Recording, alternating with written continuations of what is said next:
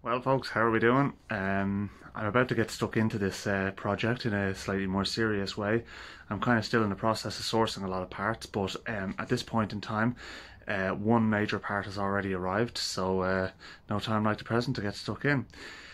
I have decided instead of trying to source a good second-hand turbo and not knowing what the condition of it is, I'm going to rebuild the turbo that's in it. Um, so what I bought was a CHRA or center housing and rotational assembly. That basically means that I'm buying all the rotating bits and the bearing housing all pre-assembled and balanced and everything uh, ready to refit to the existing housings. So that'll be the turbine plenum and the uh, compressor shroud.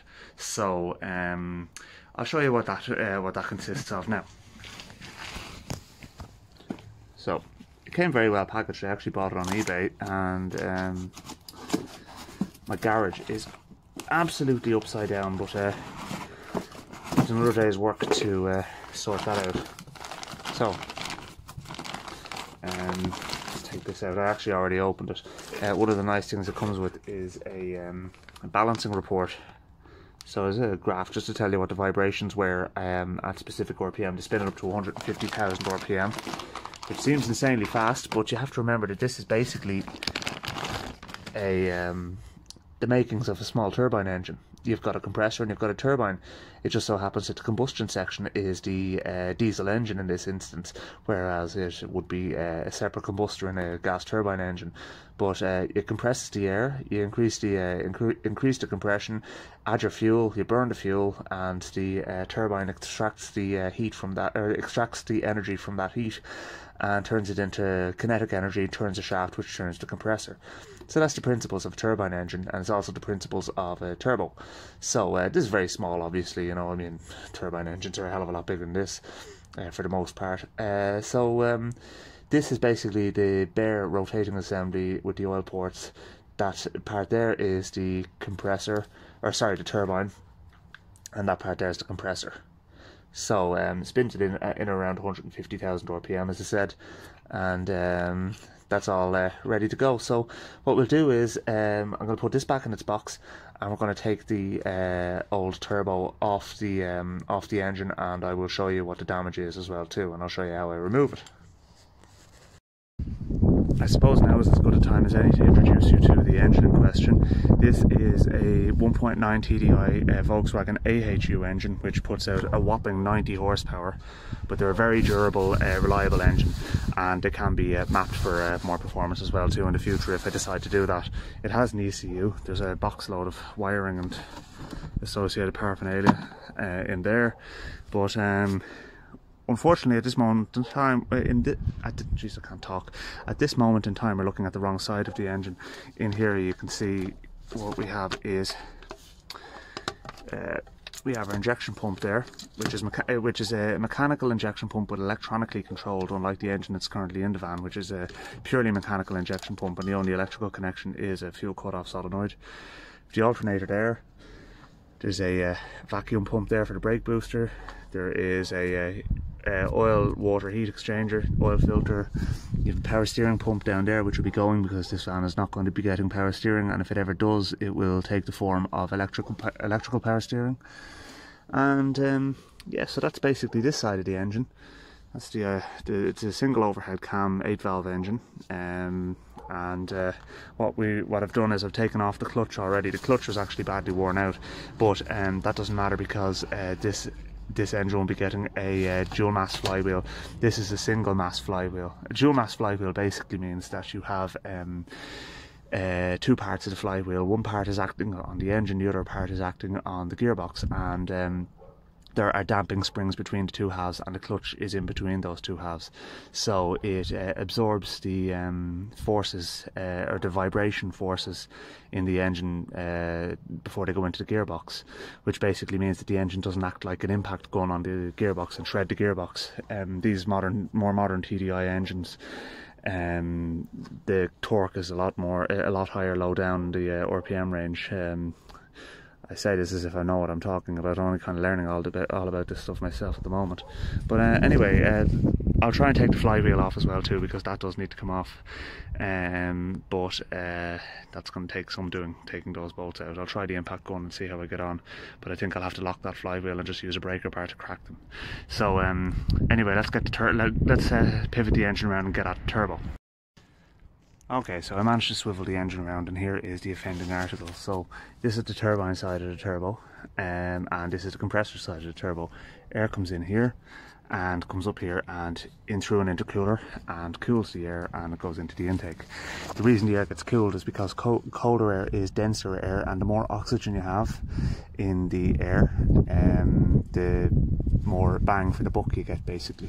But uh, if you see in here there is where the turbine is, or the compressor is and unfortunately this turbo has eaten something. Now there's a little bit of damage to the uh, compressor shroud as well too so we'll have to dress that up.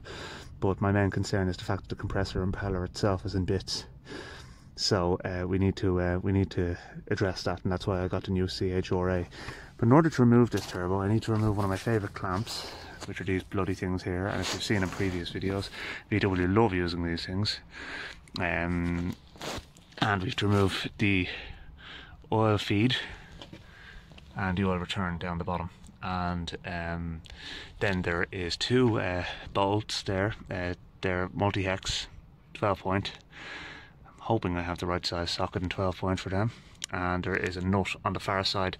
I, my heart sank when I saw the access at the back and I was thinking please don't tell me I have to take the intake manifold in order to get at it but no fortunately there's a nut facing down on that side so it's not too bad. So anyway first I'm going to take off the um, the uh, oil feed and return pipes and I'm going to take off that inlet pipe and we'll go from there. Okay so here's the turbo out on the bench now um, and just a, a, bit of disassembling to do. So first of all we need to do is take off this exhaust uh, section and flange here. And um, then we can set about taking the CHRA out of the uh, out of the turbo uh, or taking the parts off the CHRA really should I say more accurately. Um, that includes taking pipe unions off and um, the uh, that's the compressor shroud and the turbine plenum is there. Um, to be honest with you, they may call them different things in turbo circles, but these is what these are what we uh, call them in uh, jet engine circles. So they're the names I'm going with. So um, yeah, so basically, first of all, what I need to do is I need to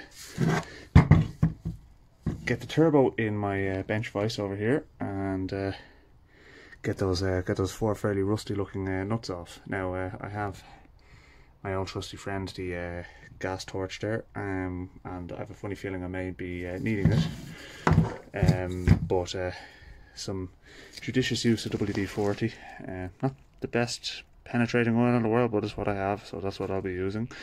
Um, but uh, let's see how we get on anyway and um, then we'll set about taking the uh, what we have to do is take there's a set of uh, bolts around there. There's four bolts. They come out of the turbine plenum.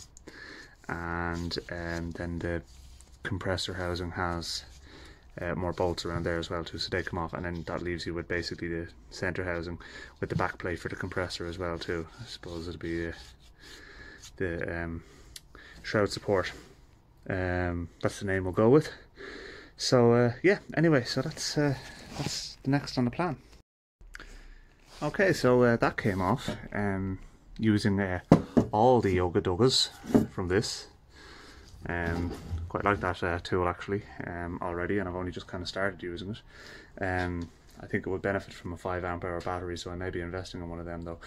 Um, but anyway, I, I, think I might need to keep this because uh, it may need to be incorporated into the existing van exhaust because that is a completely different flange for the turbo. That's the, the, uh, the exit or the exducer from the turbine in there. And uh, that's the wastegate then as well too so that little valve pops open and uh, allows the compressor air to come out from there. Um, so yeah, so that's uh, next. Um, uh, next on the agenda then is to uh, take out uh, four bolts around here and take out that, that, and then the two corresponding ones on the other side. And we get that oil pipe out of the way as well too. So that is just a uh, Allen keys. So let's do that. Okay, so I have the uh, compressor shroud off now, and there it is there, and you can see that the uh, damage is basically limited to just the uh, inlet there. So uh, around this edge here, um, that should all dress up uh, any of that kind of damage there. I'd say that'll look pretty uh, pretty good by the time I've gone around with some very light emery, um, just to take the rough look off it. Um, but interestingly enough as well too, it's also full of oil. So that would say to me that one of the, the seals in this uh, turbo was gone as well too. So um, just as well we're doing this job because even if this turbo hadn't eaten something, which it certainly has, as you can see by the um, the blades, um, it would still be uh, giving rise to a smoky engine that's consuming oil, and um, that just that just wouldn't do in the context of a uh, freshly uh, installed engine. So um, yeah, the next thing to do is to take the turbine plenum off, and then we'll get everything cleaned up and um, start putting it all back together again. Okay, so here's the turbine plenum removed now as well too. You see there's no vanes or anything like that in there, so uh, literally um, the gases that come from the exhaust go directly onto the, um, the sides of the turbine. Um, doesn't make it for, make for a very efficient turbine, but uh, serves the purpose that it needs to serve in this instance. So uh, it's fairly uh, grubby looking, but uh, more interestingly actually as well too, the wastegate was stuck closed. So um, it's still very, very stiff. So the uh, wastegate actuator is just vacuum operated and um, it uh, needs to be able to operate quite freely. And if it doesn't, you're just going to end up uh, overspooling the turbo and um, causing its destruction, which is maybe the reason why this one is in bits. Um, but uh, be that as it may, anyway, we have the technology, we can rebuild it um, and uh, we'll get it uh, get it back to live uh, to fight another day. Um, I wouldn't consider the engine particularly overstressed, so uh, I'm not particularly worried about the engine taking too much boost pressure off the turbo. In fairness, it's not a massive turbo anyway, and uh, at 90 horsepower, um, you know, it's really not a very very powerful engine to begin with. So we're not going to stress ourselves too much with that. Um, but uh, yeah, I would I would reckon that that sucked something in, though. I mean, what exactly, I don't know. Uh, where it went, I don't know either. But, you know, the fact that it, it kind of did, um, you know, it, it, didn't even get down as far as the kind of the, the um, mid span blades there as well, too. It's, uh, it's kind of. I'd say it's probably safe enough. Whatever it was was quite small. I mean, you have to remember that this is spinning incredibly fast, and um, so, you know, I mean, that's that's probably uh, nothing to worry about in that instance. I mean, what we can do is we could have a look down the uh, the inlet of the engine and have a look at the back of the uh, valves, and see if there's anything there. But you know, I mean, it's probably a bit over the top. Uh, so uh, yeah. Anyway, right. So next next step is to get all this lot cleaned up um, and to find that uh, bolt I lost. It went flying across the bench when the turbine plenum came off, and uh, I don't know where it's gone, so I have to find that. But um, what I think I might do just before we wrap up is I might just try and take that flywheel off as well too. So let's leave the turbo for the moment and go to the flywheel. That's not a flywheel. This is a flywheel. Probably the worst Australian accent ever, but uh, there you go. Yeah, the old Lister. That's a beast of a flywheel and weighs a ton. But anyway, suffice it to say, I got the flywheel off the uh, Volkswagen engine. And um, when you have an impact gun handy job. But if you didn't have an impact gun, it'd be a pain in the face, and you'd need to figure out a way of bracing the um, the engine, uh, the flywheel on the engine to stop it from turning as you're trying to use a breaker bar to take it off.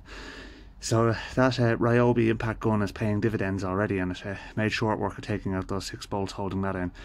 So uh, yeah, I'm uh, suitably impressed. But um, anyway, I think we'll uh, call it there for an evening.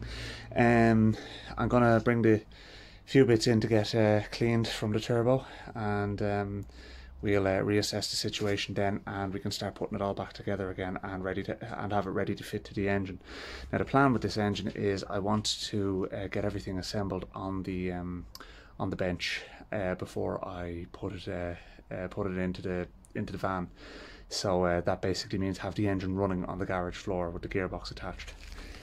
There's the gearbox. So um, it's quite a bit bigger than the Beetles gearbox, which um, I had out there as well too recently, but um, that is out of a B5 Passat um, 1.9 uh, TDI. Um, and uh, what I need to get done is I need to get um, 15 millimeters machine from the front face of the bell housing to make room for the spacer that goes onto it. So uh, that should be um, should be interesting trying to get that done. Um, I'm kind of coming up short on people who actually want to do the job for me so far, but uh, I'm still only at the early stages of uh, of uh, searching around. I certainly can't do it anyway. But um, yeah, anyway, we'll leave it there. Uh, don't forget to like and subscribe, and um, I'll see you in a future video. Thanks for watching.